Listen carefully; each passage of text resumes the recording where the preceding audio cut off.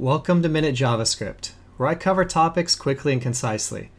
Today I'll be covering the array methods index of, includes, and find. Index of is used to search for an item and return the index of that item if it's found. If the item is not found, index of will return negative 1. I'll start off by typing letters.indexof, and I'm going to search for the letter C. Here it's returning 2 because it's the second index.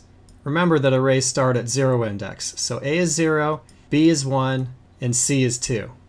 Now if I were to search for an element that doesn't exist, let's say Z, index of will return negative 1. And remember, because arrays are 0 index, a return result of 0 means that it matched the first item in the array. Includes is similar to index of, but instead of returning a number, it returns a boolean on whether or not the item is found. Here I'm going to search for the letter C, and of course it returns true. If I were to search for something that doesn't exist, let's say the letter Z, I would expect it to return false, which it does. Now find works a little bit differently from index of and includes. Find will return the item instead of a true false or the index. It also takes a predicate, which is just a fancy way of saying a function that returns a boolean. Here what I'm going to find is the first dog.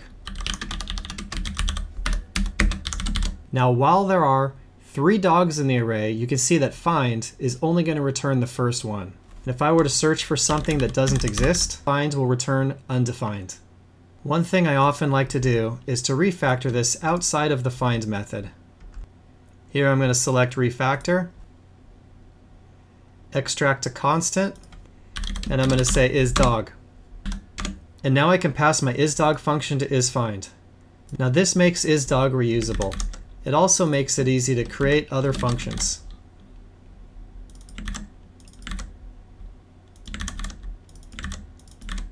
So now I have two functions, isDog and isCat, and all I have to do now is pass the one I want into find. So you can see on line 11, I'm able to find a dog, and on 12, I can find a cat. And now as a bonus, I'm going to demonstrate find index.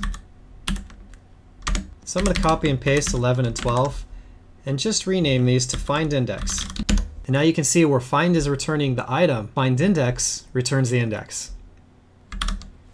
Thanks for making it to the end. If you'd like to see more videos like this, let me know by liking, subscribing, commenting on the video, and I'll see you next time.